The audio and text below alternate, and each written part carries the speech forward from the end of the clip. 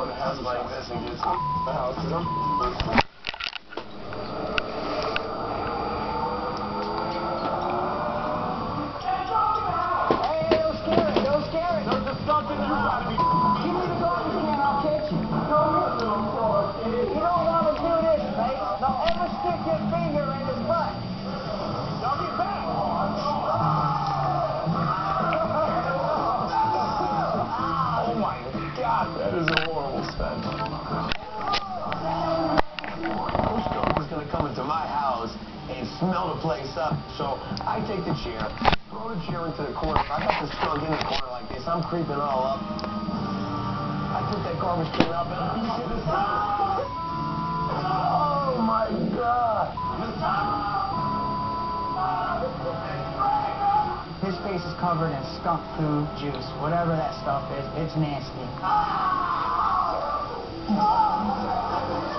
Always thought when a skunk sprays you, it like lets off this little, you know, mist that kind of is like, oh man, that's terrible. But I mean, this thing, this is right on my face.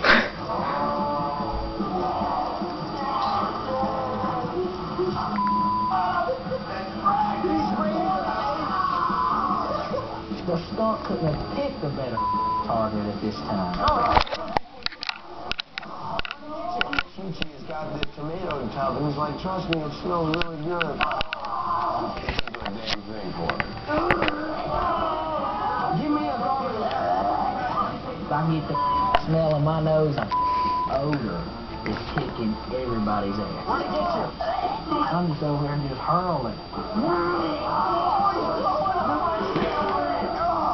And I just started puking because Big Rig was puking everywhere.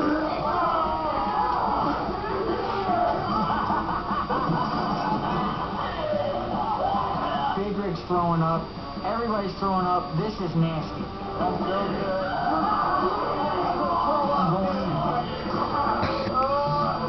I'm going in.